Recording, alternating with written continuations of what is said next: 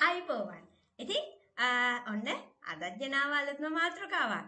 මේ අකයලෝජි වියස් ටුවරිසම් කොහොමද අකයලෝජි සංචාර කර්මාන්තයත් එක්ක සම්බන්ධ වෙන්නේ කියලා? අපි බලමු මොකද වෙනස කියලා. එහෙනම් අපි යමු අද වීඩියෝ එකට.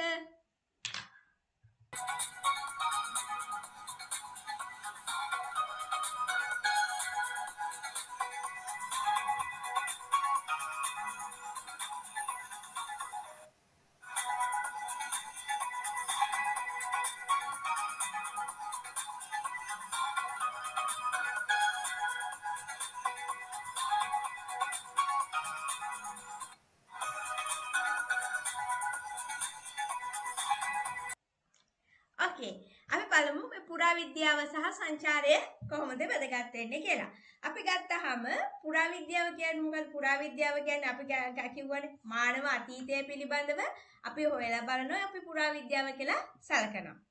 එතකොට අපිට සංචාරකයේ සංචාරය කරන්නේ විවේකය නැත්තම් ව්‍යාපාරික අරමුණු ඊට පස්සේ අපි ගත්තොත් ප්‍රධාන වශයෙන්ම අපි කමු මොන වගේ දේවල්ද සංචාරය කරන්නේ විවේක ගමන් වලට සංචාරය කරනවා. එතකොට ඒකදී මිනිස්සු විනෝද වෙනවා සංචාරක ස්ථානවලට යනවා විශේෂයෙන්ම නව සංස්කෘතික ස්ථාන භූදර්ශන ආකර්ශනීය ස්ථානවලට ගමන් කිරීම කරනවා. ඊළඟට මේ ව්‍යාපාරික සංචාර කටයුතු සිද්ධ කරනවා. රැසීම් වලට සම්මද්‍රණ වලට ආයතනක විවිධ අරමුණු සඳහා මේගොල්ලෝ ගමන් කිරීම සිද්ධ කරනවා. එතකොට මොකද වෙන්නේ? මේ ගමන් කිරීමත් එක්ක සංචාර කටයුතු දියුණු වෙනවා. ඊළඟට සංස්කෘතික සංචාරණය. සංස්කෘතික සංචාරණය ගත්තහම මේවට ඇත්තටම සංචාරකයන් කෞතුකාගාර සහ ස්ථාන ස්ථානීය මේ ස්ථානීය නැරඹීම් ඒ වගේම සංස්කෘතික උත්සව වලට සහභාගී වීම එතකොට දේශීය සිරිත් විරිත් හා ඉතිහාස කලාව වැනි දේවල් සම්බන්ධ කරගෙන සංස්කෘතික සංචාරණය සිද්ධ වෙනවා. එතකොට ත්‍රාසජනක සංචාරක ව්‍යාපාරත් සිද්ධ වෙනවා. මේවා ඉතින් ඇත්තටම කඳු නැගීම, ඒ වගේ ත්‍රාසජනක දේවල් මුල් කරගෙන තමයි මේ දේවල් සිද්ධ වෙන්නේ. ඊට පස්සේ පාරිසරික සංචාරණය. ඒ වගේම වෛද්‍ය සංචාරණය ආදී විවිධාකාරයේ සංචාරණ කටයුතු සිද්ධ වෙනවා. ඉතින් අපි බලමු පුරාවිද්‍යාව. දැන් මේ වගේ බැඳිලා තියෙන පුරාවිද්‍යාව සංචාරණය කොහොමද මේ ප්‍රතිලාභ විදියට මේ පුරාවිද්‍යාව නැත්නම් පුරාවිද්‍යාවට සංචාරණය කොහොමද ප්‍රතිලාභයක් විදිහට සැලකෙන්නේ කියලා. අපි ගත්තොත් අපිට කතා කරන්න පුළුවන් benefits of archaeology to the tourism. කොහොමද මේ ප්‍රතිලාභයක් විදිහට අපිට මේ වැදගත් වෙන්නේ පුරාවිද්‍යාවට සංචාරය. අපි ගත්තොත් ප්‍රධාන දේ සංස්කෘතික උරුමය. පුරාවිද්‍යා ස්ථාන බොහෝ වෙලාවට ප්‍රධාන සංචාරක ආකර්ෂණ ස්ථානයක් බවට පත් වෙනවා. එතකොට සංස්කෘතික උරුමයන් ආරක්ෂා කිරීම සහ ප්‍රවර්ධනය කිරීමට මේක උපකාරී වෙනවා. ඊළඟට අපි ගත්තොත් ඉකොනොමික් ඩිවලොප්මන්ට්. කොහොමද මේක ආර්ථික සංවර්ධනයට සම්බන්ධ වෙන්නේ? ආර්ථික සංවර්ධනයට ගත්තාම මේ පුරාවිද්‍යා ස්ථාන මගින් ජනනය කරන සංචාරක ව්‍යාපාරයට දේශීය ආර්ථිකයට නංවල් වීමට සහ රැකියා උත්පාදනයට මේ දේශීය ව්‍යාපාරවල සහභාගීත්වයට හේතුවක් වෙනවා.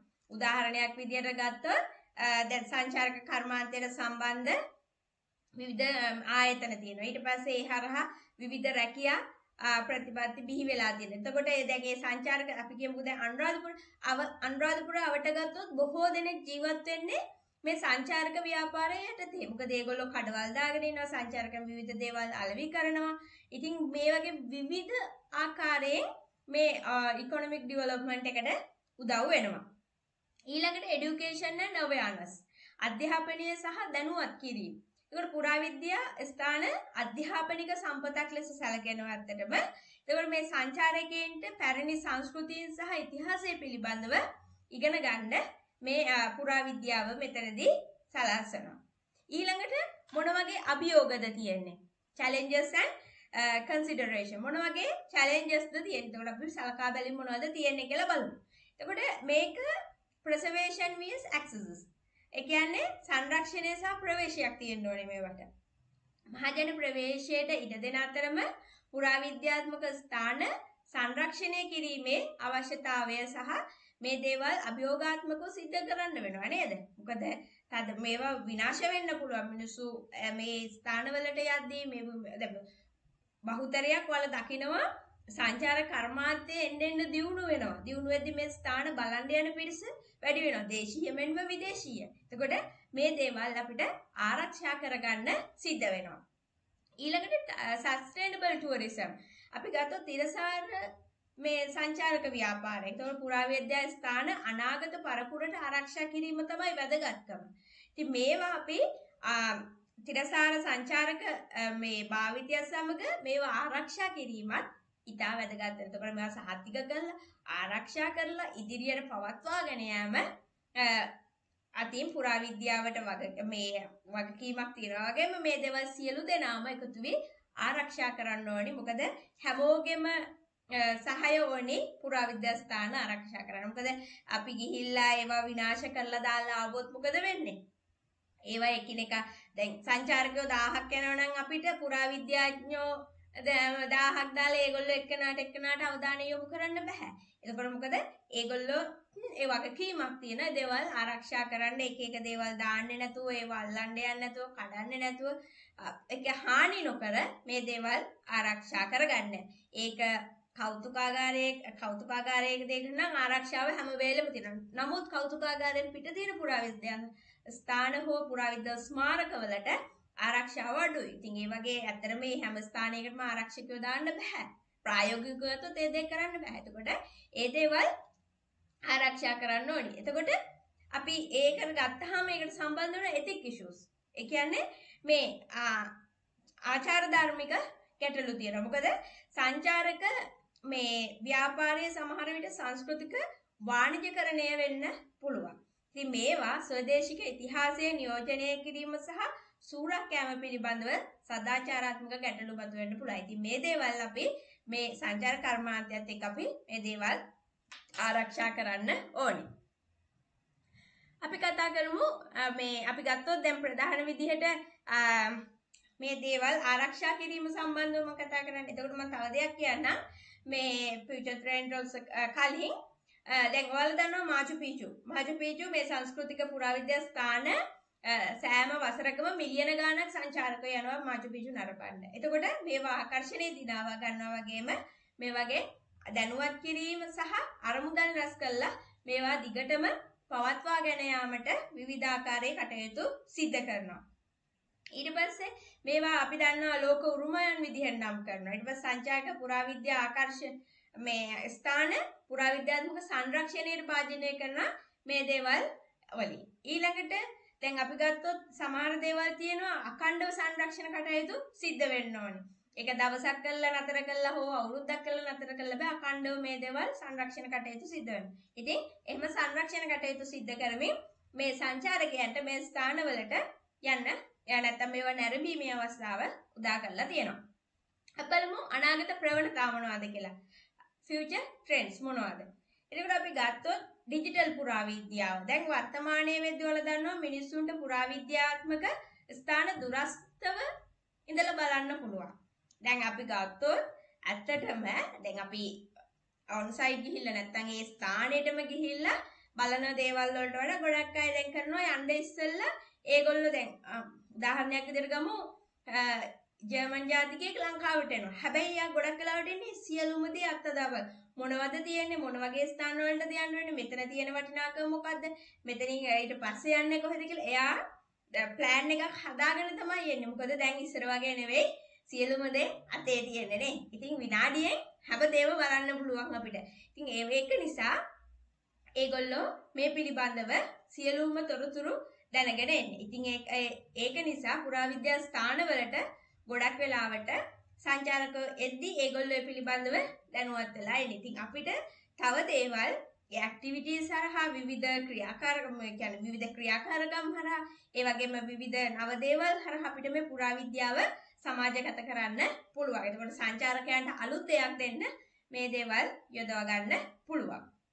ඊළඟට ප්‍රජා සහභාගීත්වය community involvement කොහොමද මේ ප්‍රජා සහභාගීත්වය කරගන්නේ? සංචාරක ප්‍රයාණයක් සඳහා ප්‍රාදේශීය ප්‍රජාවන් සම්බන්ධ කරගන්න ඕනි.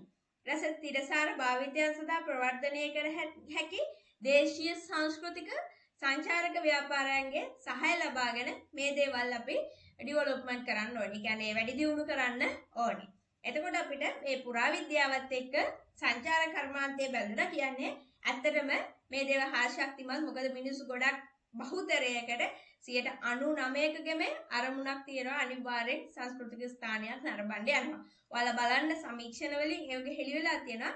මිනිස්සු ආවොත් මොන ක්‍රමයකට ආවත් අනිවාර්යෙන් සංස්කෘතික ස්ථානයක් නරඹන්න යනවා. එතකොට ඒ වගේම තමයි ගතොත් කමියුනිටි හරහා මේ මේ දේවල් මේ අපි දැනුවත්ව හෝ නොදැනුවත්ව මේ ස්ථානවලට පිරිස් යොමු කරනවා. ඉතින් ඒ ඒක නිසා පුරාවිද්‍යාවයි සංස්කෘතියයි අතර නැත්නම් පුරාවිද්‍යාවයි සංචාරයයි අතර අන්‍යෝන්‍ය සම්බන්ධතාවයක් තියෙන. මේ සම්බන්ධතාවය ගත්තොත් ඇත්තටම ලෝක ලංකාවට පමණක් නෙවෙයි ලෝකයේ බැලුවත් ලෝකයේ තේ ස්ථානවල විවිධාකාරයේ සංචාරක අරමුණු මූලික කරගෙන සංස්කෘතික උරුම උරුම හරහා විවිධ දේවල් හරහා සංචාරක කර්මාන්තය දියුණු කරනවා. ඉතින් පුරාවිද්‍යාව සංචාරක ව්‍යාපාරය අධ්‍යාපනය සහ ආර්ථික වර්ධනයට ප්‍රවර්ධනය කරන අන්ත අර්ථවත් අන්තර්ක්‍රියා කරන විෂයන් දෙකක්. නැත්තම් ෆීල් අපිට ගත්තොත් ශේෂ්ත්‍ර දෙකක්. ඉතින් මේ ශේෂ්ත්‍ර දෙකම බැලන්ස්ව අපි කරගෙන යන්න ඕනි. සංචාරකය නිසා පුරාවිද්‍යා දේවල් වලට හානි නොවෙන්නත් පුරාවිද්‍යාව නිසා සංචාරය නතර කරන්නත් නෙවෙයි මේ දේවල් අපි බැලන්ස්ව කරගෙන යන්න ඕනේ. ඉතින් මේ දේවල් පුරාවිද්‍යා ස්ථානවල තිරසාරභාවය වගේම සංරක්ෂණය සහතික කරලා මේ අභියෝග වලට මුහුණ දෙන්න මොන වගේ අඩි මේ පසුබිමක්ද හදන්න ඕනේ කියලා මුලින්ම කරන්න ඕනේ. ඉතින් දැන් වර්තමානයේ වෙද්දී ඔයාලා දකිනවා ගොඩක් දේවල් දියුණු වෙමින් යනවා. ඉතින් පුරාවිද්‍යාව එක සංචාරය ඒ බැදලා තියෙන අන්‍යෝන්‍ය සම්බන්ධතාවයත් එක්ක සංචාරක කර්මාන්තයේ විශාල ප්‍රවර්ධනයක් දකින්න පුළුවන්. ඉතින් මෙන්න මේ වගේ දේවල් අපි කිව්වා මේ විවිධ දේවල් මූලික කරගෙන සංචාරකයෝ ආකර්ෂණය එක ලංකාවට ලංකාවට හෝ ලෝකයේ විවිධ ස්ථානවලට යනවා. දැන් ඔයගොල්ලෝ උදාහරණයක් ගත්තොත් ඔයාම හිතලා බලන්න ඔයා කොහේ හරි සංචාරය කරන්න හිතාගෙන ඉන්නවනම් ඔයාට මොන වගේ අදහසක්ද තියෙන්නේ? හැබැයි ඔයා ඒ ඔයාගේ සංචාරක අරමුණ කුමක් වුවත් ඔයා සංචාරක මේ කියන්නේ සංස්කෘතික ස්ථානයක් නරඹන්න යන්නේ නැද්ද? අනිවාර්යෙන් ඒක සිද්ධ වෙනවා. බොහෝ අයගේ සිද්ධ වෙනවා. දැනුවත් හෝ තමන් කැමති හෝ අකමැතිව මේ දේවල් සිද්ධ වෙනවා. මොකද ඒක තමයි අපේ අපේ අපේ හිතට කාවැදිලා තියෙන නැත්නම් අපේ ඇඟට කාවැදිලා තියෙන්නේ මේ පුරාවිද්‍යාව කියන්නේ මොකද්ද කියලා. අපි ගොඩක් අය දන්නේ නැති වුණත් ඒ දේවල් විෂයක් විදිහට දන්නේ නැති වෙන්න පුළුවන්. නමුත් අපි මේ දේවල් කරන පොඩ්ඩක් ඔයාලත් හිතලා බලන්න ඔයාලා කොහොමද මේවට සම්බන්ධ වෙන්නේ කියලා. ඉතින් පුරාවිද්‍යාව කියන්නේ අලුත් විෂයක් නෙවෙයි. එදා තුර එදා ඉඳලා අපි අතීත දේවල් හොයන්න එදා ඉඳන් පැවතගෙන ආවා අපි ඉදිරියට මේ දේවල් කරගෙන යනවා. ඉතින් Wonder of History channel එකත් එක්ක දිගටම සම්බන්ධ වෙන්න ඔයගොල්ලෝ අලුත් දෙයක් ඉගෙන ගන්න තමන්ගේ දැනුම අනිත් අය අතර ෂෙයා කරන්නත් අමතක කරන්න එපා.